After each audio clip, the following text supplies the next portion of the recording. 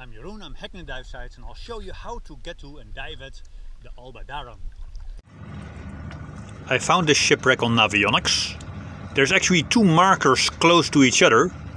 Use the marker with the dive flag because that is the right one. It's definitely advanced dive sites. It's very exposed. It's about 40 minutes swimming from shore. It's 40 meters deep. There can be a strong current that is blowing away from the shore it would be safer to do it by boat.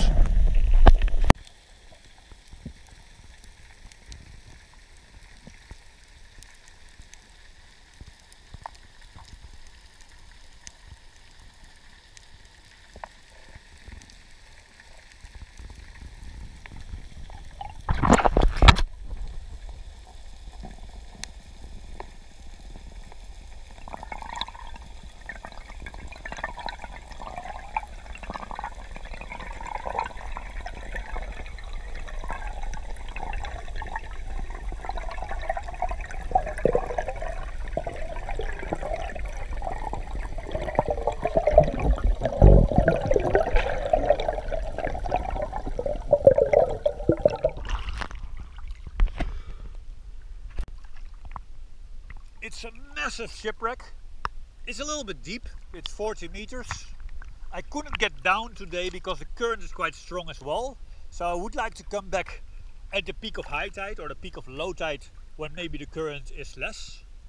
And I would like to spend more time on it. At the moment there are two buoys on top of the shipwreck.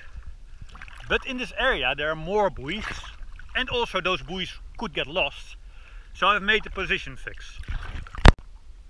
When you come from Bel Ombre and you walk all the way, the whole coastline is granite, there's no beaches.